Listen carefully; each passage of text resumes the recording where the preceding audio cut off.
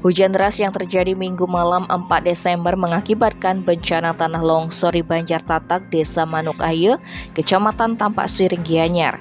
Akibatnya, pelinggih gedong catu di tempat tersebut roboh ditimpa tanah longsor.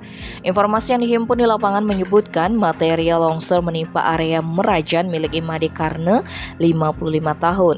Peristiwa itu mengakibatkan salah satu pelinggih yakni gedong catu roboh dan area Merajan korban dipenuhi lumpur.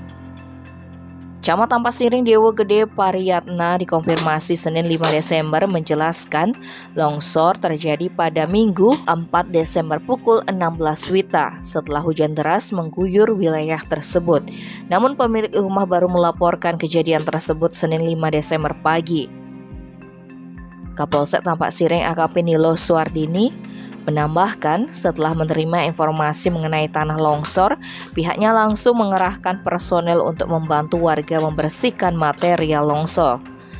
Ia menyebutkan tidak ada korban jiwa dalam musibah tersebut, hanya saja korban diprediksi mengalami kerugian mencapai 50 juta rupiah.